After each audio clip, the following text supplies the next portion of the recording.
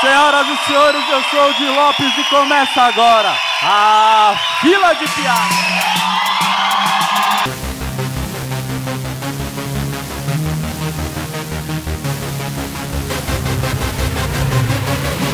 Hoje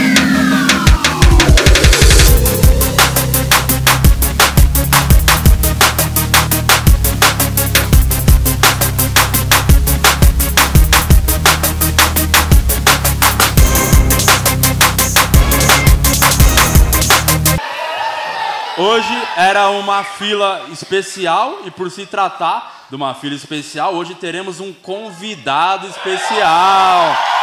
É, ó. Vocês pagaram pra ver quatro, vão ver cinco. Os pobres estão felizes pra caralho agora, ó. Economia. Enfim, é esse cara que a gente gosta muito, é muito talentoso, além de um grande comediante. Ele tem um canal que é incrível, com esquece de humor. Esse cara eu gosto pra caramba, até chamei ele, ele fez o Barba Cabelo e Comédia, que inclusive é o melhor programa da internet, o Barba Cabelo e Comédia. E esse cara tá aqui agora para nos dar a honra de participar da fila de piadas. Então façam muito barulho para receber Jonathan Nemer! O cara de Deus!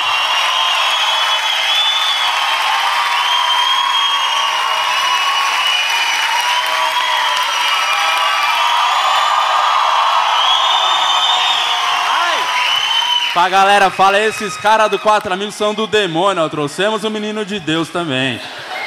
Hoje, nosso convidado especial, Jonathan Emer, então não poderíamos deixar passar. A fila de hoje, claramente, é religião.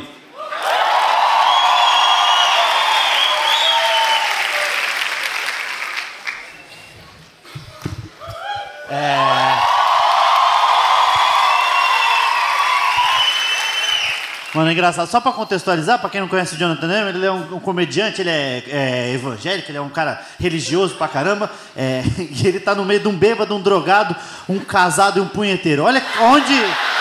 Parece um grupo de reabilitação do cara que era crente, aí caiu nas drogas e tá tentando reabilitar de novo. Não, eu tava aqui na coxinha, ele, o, o Tiago falou, mas você acredita em Deus mesmo? Aí ele falou sim, ele falou, dentro desse coraçãozinho. Aí ele falou assim, eu falei, mas você toca punheta? Olha onde que a gente chega no diálogo com ele, né?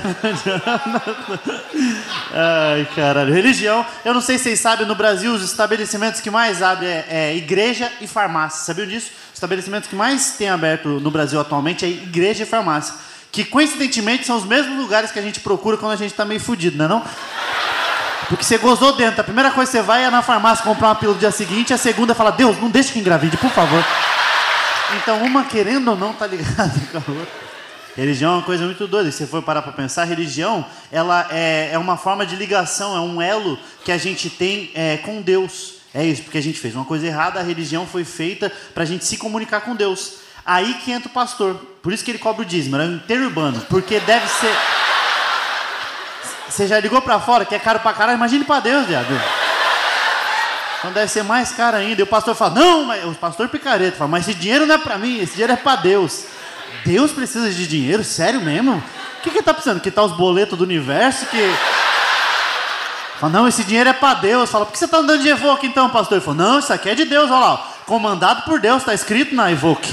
Fala, você tá fazendo Uber pra Deus então? O que que tá. Não, porque eu acho que eu acho que tem bons pastores, eu acho que tem a galera que está a favor, as pessoas que estão querendo o bem, que estão querendo ajudar, mas tem os picareta. Tem uma galera que está transformando a igreja meio num polishop gospel. Já viu já? Mano, tem, um, tem a galera que está vendendo umas coisas, tem gente que está vendendo terreno no céu. Terreno no céu. É a meia água divina. Ó, Olha, olha isso. Você vai comprar um, um terreno, seu vizinho é São Pedro. Olha que bosta. Você esquece de tirar a roupa do varal e fala, ô, podia ter avisado, hein, São Pedro? Aí é foda. Tinha um que era o perfuminho de Jesus. Perfuminho com cheiro de Jesus. Não tô mentindo, tudo que eu tô falando aqui existe. Perfuminho com cheirinho de Jesus. É o Jequiti da Galileia. Olha, olha aonde a gente está chegando. É, o Jequiti da Galileia. Você tá lendo a Bíblia, parece perfuminho com cheirinho de Jesus e some do nada assim. Você tem a toalhinha, lembra da toalhinha? Até viralizou, que era um vídeo do seguinte, que era tão cara de pau esse vídeo, que era o seguinte, o cara está vendendo uma toalha que fala que é toalha de Jesus, que você passa nos lugares e sara, você fazia as coisas, some as dívidas, olha isso. Aí aparecia um cara falando para dar um testemunho, ele falava, não, eu comprei a toalhinha, paguei 200 reais, estava com a dívida de 2 mil no Bradesco. Eu fui à noite, passei essa toalhinha na porta, e outro dia eu fui, tinha sumido a minha dívida. O pastor falou, chama na mala, e ele fez o negócio dele. Aí falou, foi Jesus que pagou. Olha o tamanho da cara de pau. Ele falou, foi Jesus, sério mesmo? Qual foi a última vez que você foi no banco? Você estava na fila, você olhou para trás e falou, não acredito, Jesus, aqui atrás. Não vai, Jesus não vai no banco, caralho. Você vai pagar coisa, o cara fala, débito ou crédito? Fala, faz no Cristo para mim, seis vezes no Cristo. É, Jesus por vencimento. Uma falta de respeito. Tem a, a, meia, essa foi um absurdo, a meia de Jesus. Jesus nem usava meia, ele usava sandália, cara. Como que ele vai usar sandália e meia? Não, não tem cabimento. Qual que foi a última vez estava lendo a Bíblia e veio? Então, Maria, então Jesus virou para Maria e falou: Maria, cadê minha meia que estava aqui, Maria? Tava. Mas o pior de todos foi o tijolinho, viu? Tudo que eu falei foi verdade. Não estou inventando nada. Existe os pastores picareta que fazem isso. E é o tijolinho de Jesus. É o tijolinho da casa de Jesus. Aí é um tijolinho que não é um tijolo mas um tijolinho desse tamanho, 400 conto. Um tijolinho, é um chaveiro de tijolo. Aí você falou, pastor, mas é 400 reais um chaveirinho? Ele fala, não, mas esse daqui é um, uma representação do tijolo da casa de Deus. Você fala, como assim? Ele fala, não, representação. Dá vontade de numa igreja dessa e pagar o pastor com a banca, uma, uma, uma nota do banco imobiliário? E fala, irmão, mas isso daqui não é dinheiro. Fala, isso é representação do dinheiro, pastor. Isso aí é.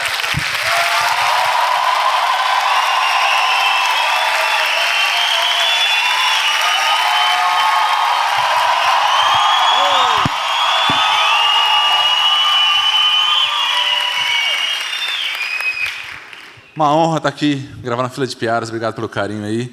E não tinha, acho que não tinha tema melhor do que religião.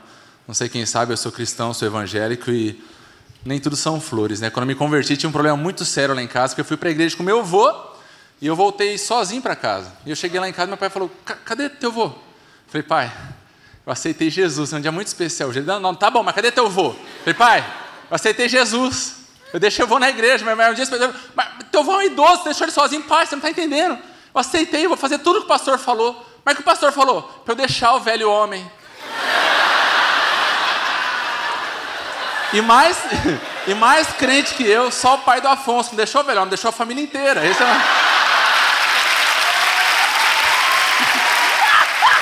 Foi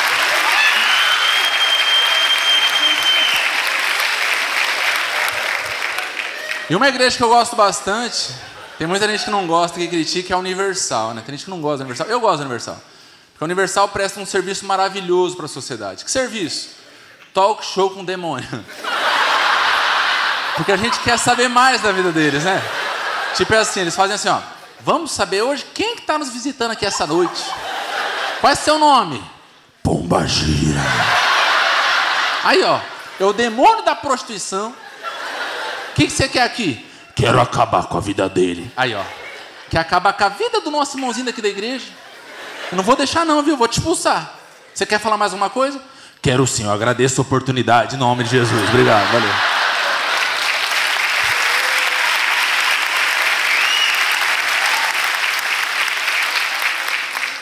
E a gente que acostuma ler a Bíblia e tal, tem vários fatos que a gente fica em dúvida. Será que é isso mesmo que a Bíblia quer dizer? Por exemplo, fruto proibido, Adão e Eva.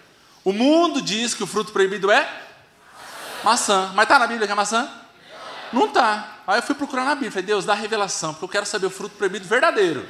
E eu li com atenção, e o versículo diz que Eva tomou e comeu o fruto. Se tomou e comeu, não é maçã, é coco. Tomou e comeu.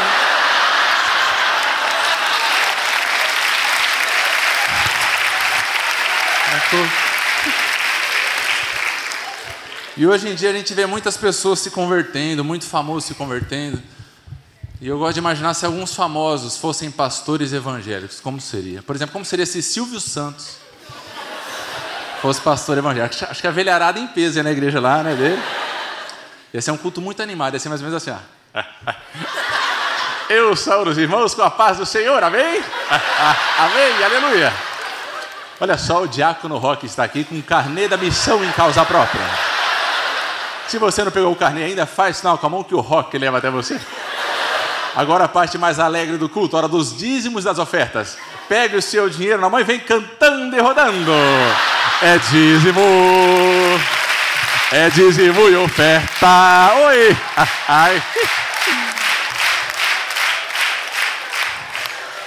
Imagina como seria se Marcelo Rezende, saudoso Marcelo Rezende, fosse pastor evangélico. Seria mais ou menos assim, ó. Eu saúdo a amada igreja com a gloriosa paz do Senhor. No culto de hoje, vou pregar sobre a história de um rei, Rei Salomão. Certo dia, duas mulheres chegaram diante do rei. Uma delas falou: Ela roubou meu filho. A outra respondeu: Nananina, não. Esse moleque já era meu. Salomão, com toda a sua sabedoria, falou: Eu vou cortar essa criança. E vou dar metade para cada uma. Uma daquelas mulheres, cabra safada sem vergonha, gritou bem alto: Corta pra mim! Corta pra mim!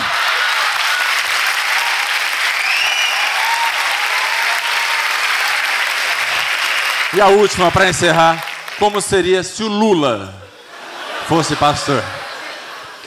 Seria mais ou menos assim: Irmão, irmã, a paz.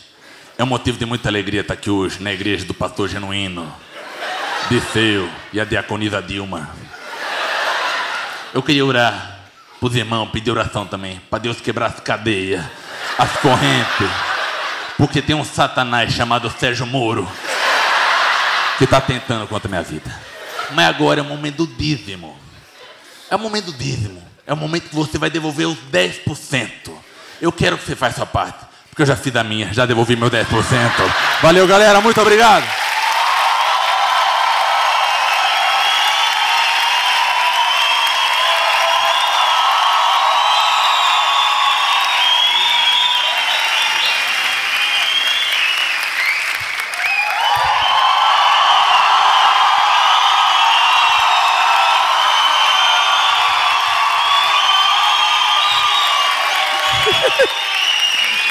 Eu sei exatamente o que os religiosos estão pensando. Saiu de Deus, entrou do demônio, olha lá. que do caralho, pô, muito engraçado. E aí, gente, tudo bem com vocês? Bom, o tema é religião, eu não entendo nada de religião, vocês sabem que eu não me importo muito com o assunto, mas eu fui pesquisar sobre religião e eu descobri que Deus é amor. E se Deus é amor e eu amo a minha mãe, então Deus é minha mãe. E se Deus é minha mãe, eu posso dizer duas coisas. Primeiro, que Deus fala alto. E segundo, que sim, a mão de Deus pesa muito.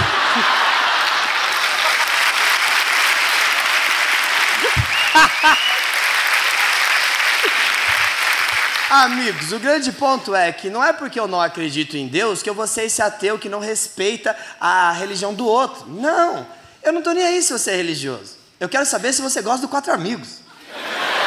Entende? É simples assim. O grande ponto é que não tem porquê, só porque eu não acredito em Deus, só porque eu não tenho religião nenhuma, que eu vou desrespeitar você. Se você está me desejando o melhor, Ave Maria, eu só quero aceitar. Você chega para mim e fala, Tiago, vai com Deus, eu meto um amém na tua cara. Tá ligado? Ah, Tiago, tô indo embora. Vou embora duas da manhã, a pé tá bom. Eu falo, que Deus te abençoe. E se a pessoa fala, não, eu não acredito em Deus, eu falo, é bom acreditar, que aqui é foda. Entende? É muito simples. É só você ser uma boa pessoa, entende? É muito simples. Eu sou uma pessoa que eu fui criado em família religiosa. Só que hoje eu não acredito em Deus. Então, tipo assim, eu não vou fazer a prova, mas eu li as apostilas, tá ligado? Eu sei as coisas, entende? Eu chamo, eu sou o ateu de Deus. Sabe por quê, viado? Porque eu sei fazer os bagulho e tudo, só que eu não acredito mais. Só que vai que o demônio volta. Aí ele parece, yeah! Viado, eu meto um aqui nele que ele nem sabe, ó. Sabe por quê? Porque você para de hipocrisia. Primeiro de tudo, se eu não acredito em Deus, eu sou ateu, eu tenho que saber que eu sou a minoria. E a gente não está no país que o povo escuta a minoria, tá ligado? Então eu tô bem tranquilo. Todo mundo fala, Deus existe? Eu acho que não. Mas eu também não sou trouxa, tá ligado? Tá todo mundo falando que Deus existe, eu tô lá no fundo assim, ó, vamos aí, vamos aí. Vamos aí, se o bagulho pegar, eu falo, ih, vazei, ladrão. E aí, às vezes, as pessoas me questionam com relação a isso. As pessoas falam assim, Tiago, só porque você não acredita em Deus que você fica fazendo piada. Nem tem graça piada com Deus. Aí eu discordo. Porque eu acho que tem graça sim. Bastante graça. Depende da piada. Como, por exemplo, os feitiços das pessoas que acreditam em Deus. Os feitiços ruins da porra. Porra, vocês estão em perigo, vocês falam, tá amarrado! Gente, isso não funciona em nenhum lugar. Porque imagina se o demônio tá vindo aqui, ó. Você vai falar, tá amarrado esperando o quê? Que o demônio vai falar, filha da puta! Quando eu me soltar,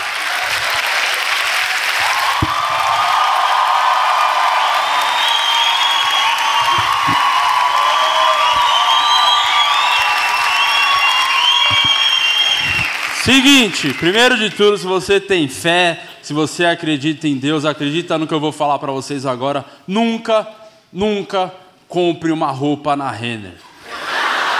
Às vezes parece que é incrível, tipo essa jaqueta aqui, mano. Falei, que da hora essa jaqueta, vai ficar incrível. Fui pra Europa e os caralho com ela, no segundo dia tava assim.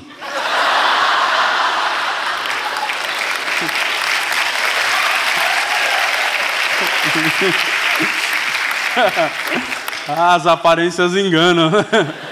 E por falar em aparência engano, eu queria falar um pouco de Edir Macedo. É... Ele lançou um filme, vocês viram teve o filme dele, recorde de bilheteria, só que foi bizarro, porque o filme atingiu todos os recordes de bilheteria, só que as pessoas entravam no cinema, não tinha ninguém lá dentro. Quer dizer, os caras miraram nos evangélicos, acertaram os espíritas, tá ligado? Não tinha ninguém no bagulho. Vendeu 4 milhões de ingressos, 4 milhões, mas no cinema só foram 40 mil. Ou seja, realmente a igreja só quer os 10%, né? Só que precisa. Aí eu, outra coisa que eu fiquei pensando aqui, que eu acho que Jesus não voltou até hoje porque o ser humano não está colaborando para ele voltar. Às vezes pessoas querem pregar as coisas de Jesus, só que está fazendo cagada, que claramente tem coisas que Jesus não concorda, tipo não poder comer carne na sexta-feira santa. Na boa, vocês acham que ele está ligando para isso? Sério? Não, Jesus vê um mendigo anos sem comer. O cara falou: ó, come essa carne aqui. Falou: pô, justo na Sexta Santa, eu não vou não, mano. Vou ficar mais uns dias aqui na fome mesmo. Quem, quem que inventou isso? Não pode comer carne? Pô, Jesus era vegano, cara. Tomara que não, que vegano é a pior raça do planeta, porque. Na boa, se Jesus é vegano, vai parecer um absurdo que eu vou falar, mas de verdade, ele mereceu ser crucificado, cara. Era. Era o mínimo que um vegano merece.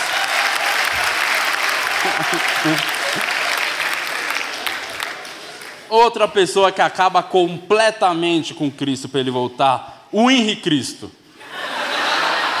Todos concordam, pior cosplay da história, vamos falar a verdade. Não, é um velho. Eu já, a gente, uma vez rolou o fritado do Henrique Cristo, fritada lá o programa do Diogo Portugal. Ele passou do meu lado, um cheiro de cachaça da porra. Isso, ele multiplicou o vinho pra caralho, né? Transformou em vômito, caralho. Puta cheiro do tio Bira do caralho. Eu juro, ele fede a cachaça que o Márcio se incomodou, assim, era muito. Aí ele tem as. Jesus tem os apóstolos, ele tem as enriquece. Não sei, aquelas. É algum bagulho lá que ele tem umas minas que parecem as, as, sei lá, as paquitas cracudas do caralho. É umas minas zoadas, tá ligado? Nossa senhora! e o mais bizarro, esse tempo todo, durante anos, as pessoas esperando Cristo voltar. Ele voltou de CG? Porra! Jesus é, é Uber agora, Uber Eats, tá entregando pão para as pessoas na rua. Nossa senhora, e sabe o que me deixa mais puto com esse maluco? Ele, ele, ele, é um bêbado, é um tiozão bêbado que fala que é Cristo, acredita nisso. Pô, Cristo poderia, poderia ter voltado em qualquer lugar, tipo qualquer praia paradisíaca, poderia ter voltado na Disney. Não, mas Cristo voltou no Super Pop, sério mesmo? na boa, cara. Não, não dá pra acreditar. É, ele é um, um bêbado, é um tijão que só fica falando. A Luciana Gimenez, eu vi uma entrevista lá, que ela perguntava os bagulhos pra ele, ele falava, ó oh, pai. Falava, e aí, mas você voltou, então o que você vai fazer pela humanidade? Ele, ó oh, pai. Só fala isso, isso aí não é o Henrique Cristo, não é Cristo, é o Afonso que fica falando, ó oh, pai, ó oh, pai.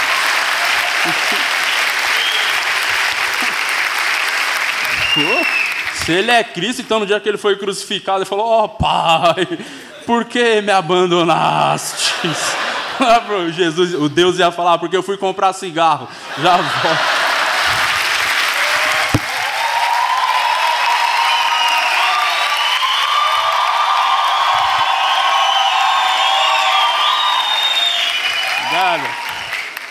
Religião. Religião, eu fui católico até os 16 anos. Na verdade, eu, a maior curiosidade que eu tinha quando eu fui católico era a hóstia, né? Porque quando eu era pequeno, eu não tinha feito a primeira comunhão ainda, e eu via meu pai tomando hóstia, eu achava incrível, eu tinha uma dúvida do caralho, e todo mundo fazia isso. Você ficava na fila da hóstia, todo mundo ficava lá conversando numa boa, se cumprimentava, ia falando da vida, chegava na hora da hóstia, o padre ia lá, dava a hóstia na boca, uma preguiça do caralho, ninguém tem braço na casa do caralho, né?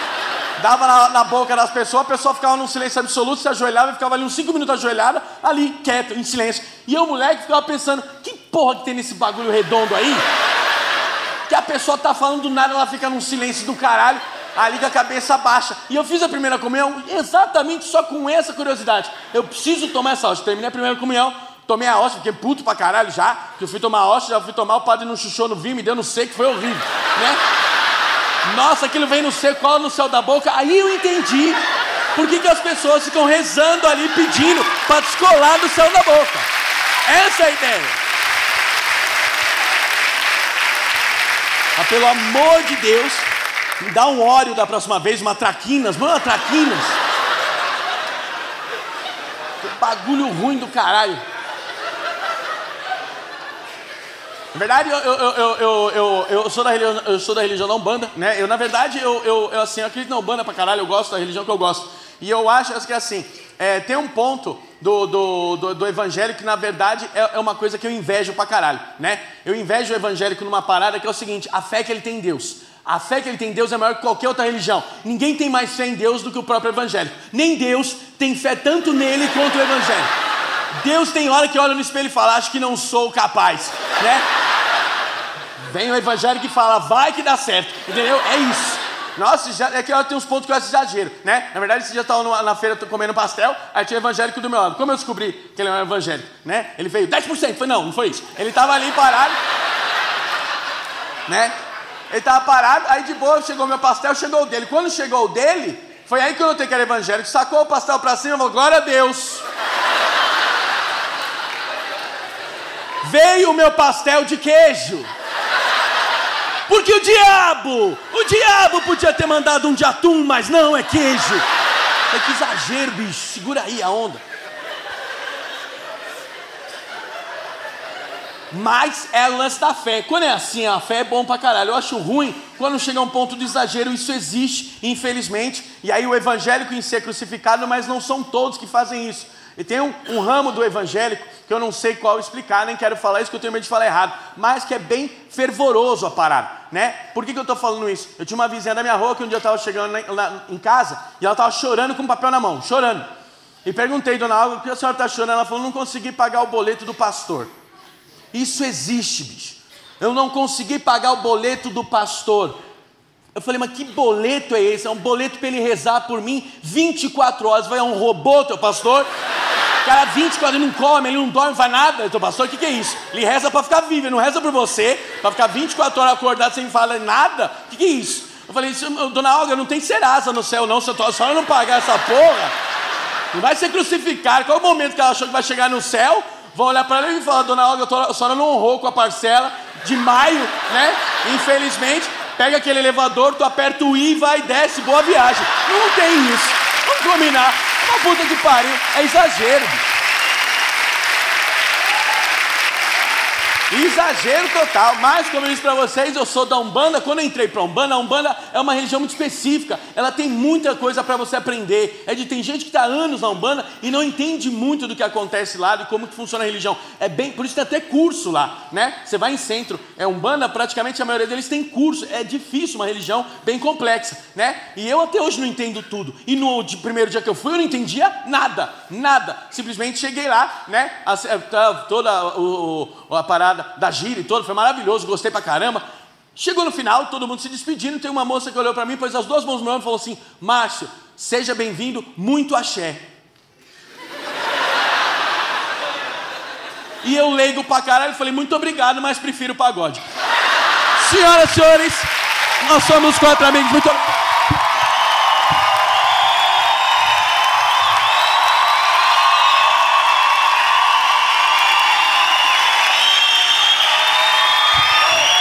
Se inscreva no nosso canal, pelo amor de Deus. Deixa o seu like por Cristo e continue nos assistindo, tá? É uma salva de palmas, Jonathan Nemer, senhoras e senhores, acompanhe o canal dele, o cara é bom pra caralho.